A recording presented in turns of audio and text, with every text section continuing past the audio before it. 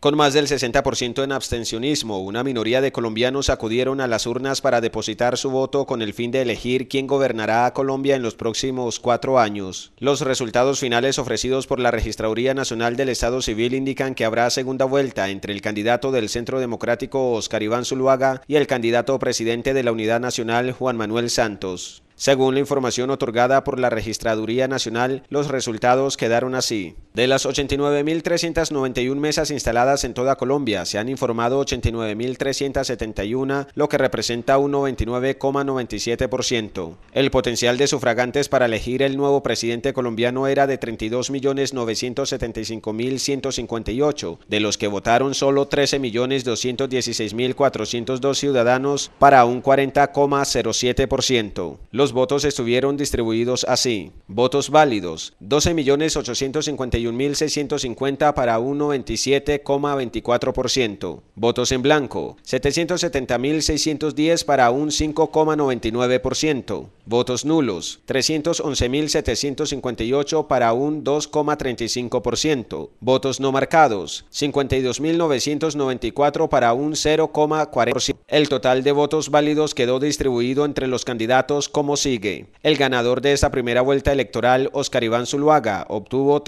3.759.971 votos para un 29,25%. El segundo lugar fue para el candidato presidente Juan Manuel Santos, con 3.301.815 votos para un 25,69%. El tercer lugar lo ocupó Marta Lucía Ramírez, con 1.995.698 votos para un 15,52%, mientras que el cuarto lugar lo ocupó Clara López con 1.958.414 votos para un 15,23%. Finalmente está Enrique Peñalosa con 1.065.142 votos para un total de 8,28%. La segunda vuelta entre Santos y Zuluaga se definirá el próximo 15 de junio de 2014.